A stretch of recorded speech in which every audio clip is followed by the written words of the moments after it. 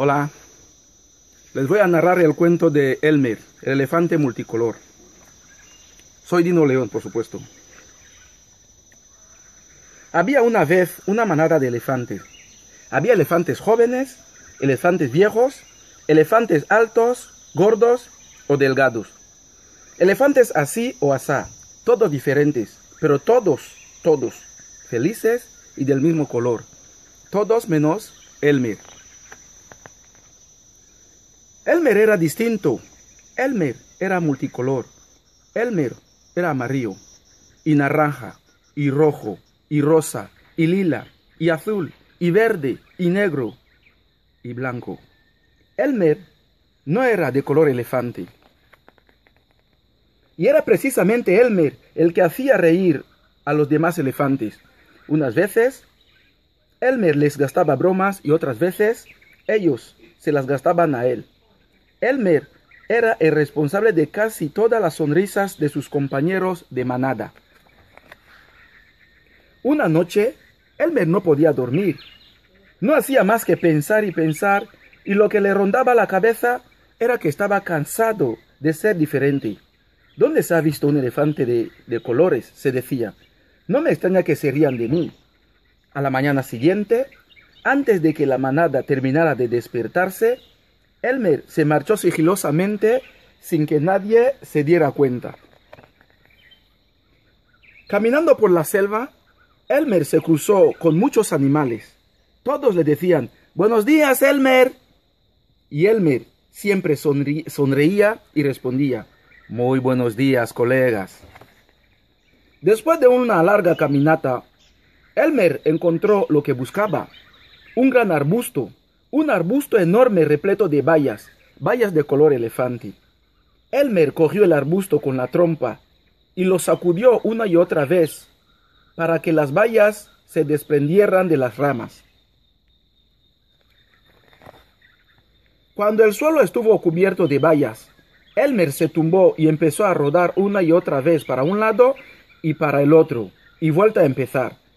Luego fue cogiendo racimos de bayas y fue frotándose todo el cuerpo con ellos hasta que estuvo cubierto de jugo de bayas y no le quedaba rastro de amarillo, ni de naranja, ni de rojo, ni de rosa, ni de lila, ni de azul, ni de verde, ni de negro, ni de blanco. Cuando terminó, Elmer tenía el aspecto de cualquier otro elefante. Entonces Elmer emprendió el regreso hacia la manada. Por el camino se volvió a cruzar con los demás animales, pero esta vez todos les decían, Buenos días, señor elefante. Y Elmer sonreía y respondía, contento. Muy buenos días.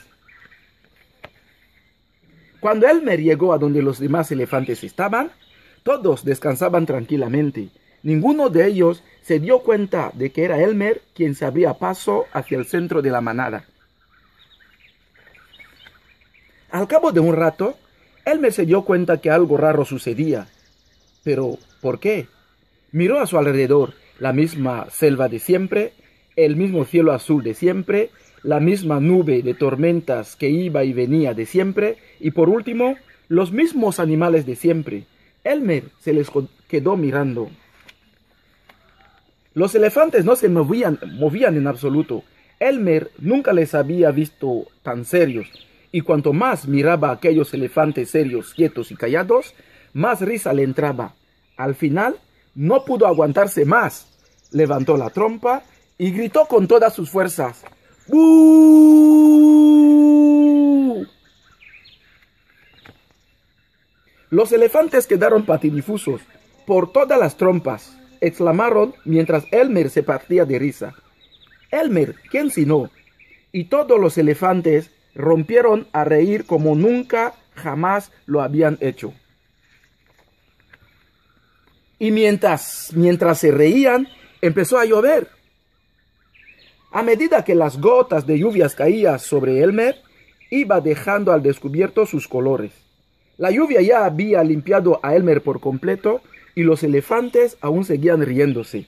Elmer, dijo a un viejo elefante, elefante entre carcajadas, nos has gastado muchas bromas, pero esta ha sido la más divertida. Tenemos que conmemorar este día todos los años, sugirió otro. Será el día de Elmer. Todos los elefantes se harán dibujos en la piel y Elmer se pintaría de color elefante. Y así lo hicieron.